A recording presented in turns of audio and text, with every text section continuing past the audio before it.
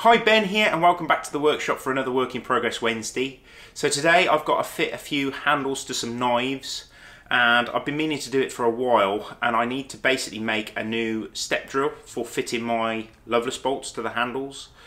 Now a step drill can be purchased but I find that they don't tend to work particularly well and they're very difficult to sharpen so I produce my own uh, counterbore drill bit by using a normal twist bit and basically making it so that it's got a pilot and then a proper size that will accommodate the, the bolt of the uh, Loveless bolt.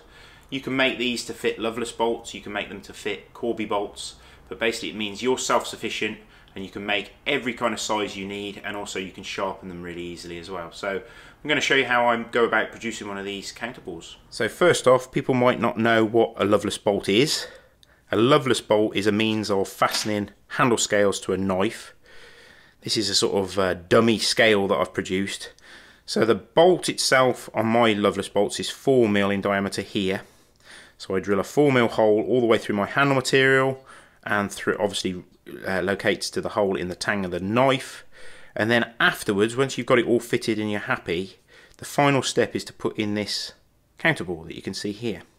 And that creates this shelf which this larger diameter sleeve nut will sit against and help pull all the handle materials dead tight onto the tang of the knife. So this is basically what we're trying to create. Now, trying to create this counterbore by just using the approximate size hole, which for this sleeve nut is about 8.5 mil.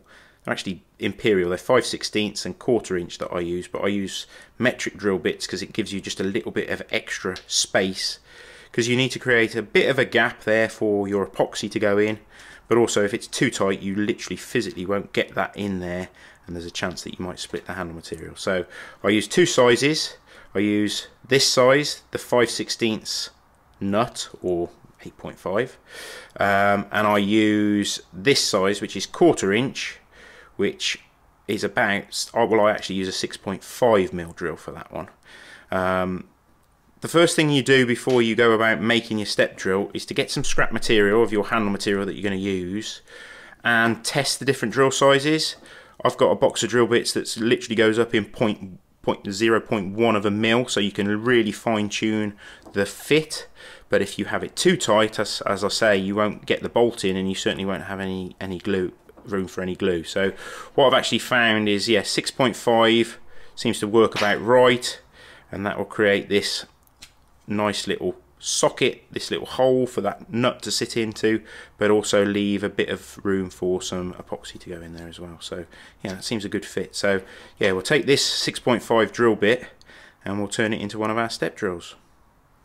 So we've come through to the grinding room. We've got our tool rest set up and uh, this is a 120 grit belt I think it is on this one but I've chosen a belt that's got a really nice sharp corner to it Set your tool rest as close as you can. I've actually stuck a 123 block on here just so that I've got a nice hard raised surface there.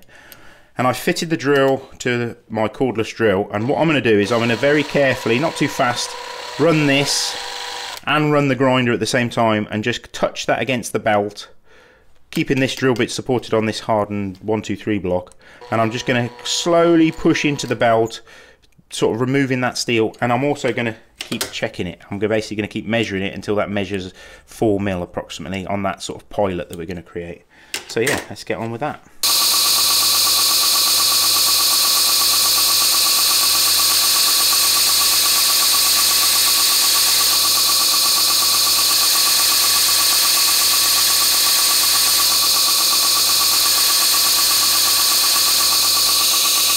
and I'm just going to check this diameter and at the moment we're about 4.4 something like that.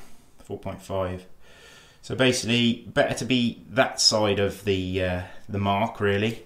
So I can put that back in the drill bit and just take a little bit more off those sides until we get down to that 4 mil.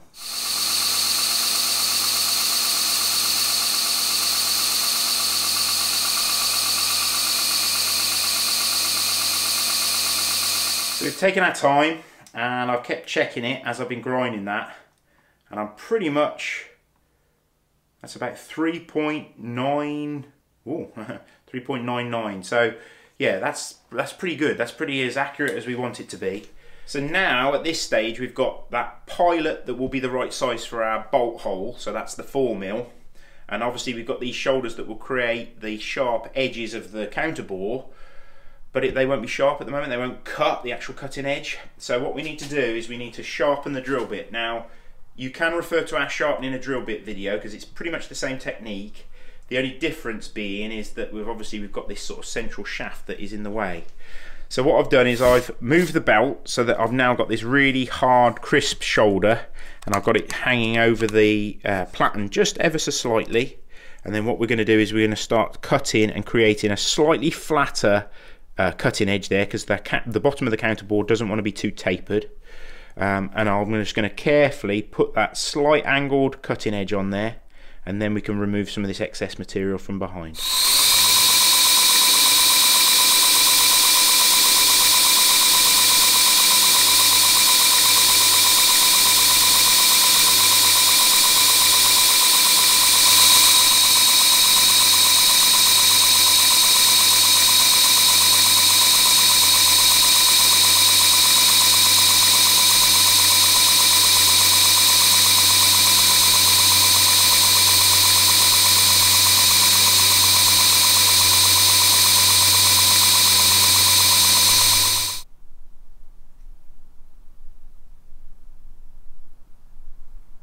So I've come over to my pillar drill. Now this is the pillar drill that I've got set up for doing my counter counterbores. And I've got this extra bit of plywood on there. And what I do with my uh, table of my drill press is that I actually make sure that I set the table height so that when I pull this drill bit down, you can see that there's probably about maybe four, three and a half, four mil from the cutting edge of the drill bit to the top of this plywood and that's going to create that little shelf. I've got a slight recess in this plywood so that the tip can pass all the way through. So that's pretty much set to the right height now. And then I've got some of my scrap handle material. This is a piece of uh, so I'm going to test it on there. Just to save a bit of noise, I normally have extraction running so it sucks the chips away, but we'll keep that off for today. Get the drill running, and what we're going to do is let that pilot find that hole. This is why that pilot is so sort of critical really. That sort of helps find that centre and then we can hold the material tight and.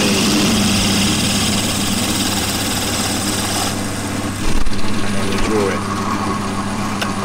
So we'll give that a test run.